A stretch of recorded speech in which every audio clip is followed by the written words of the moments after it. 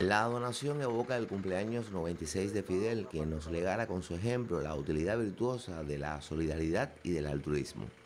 En este momento llevamos producciones de seis, de seis proyectos acá en la provincia, tres productores independientes, llevamos un proyecto de desarrollo local y dos MIPIMES, asumiendo la empresa Copio la transportación de, estos actores, de las producciones de estos actores económicos. 96 toneladas de productos donados entre viandas, hortalizas, frutas y productos enlatados producidos propiamente por nuestras mini industrias y por nuestros productores para ese pueblo. Todos los productos nuestros son congelados.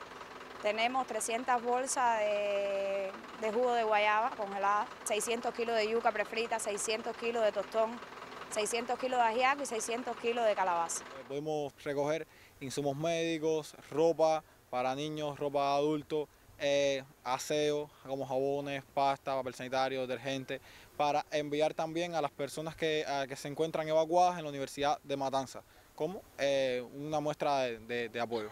Suseli Morfa González, secretaria provincial del partido en Matanzas, agradeció por videollamada el gesto solidario. En tanto, su homólogo avileño, Iván Izquierdo Alonso, recalcó que el ayudarse en tiempos difíciles es también hacer revolución. Desde Ciego de Ávila, Damián Betanzos Hernández, Sistema Informativo de la Televisión Cubana.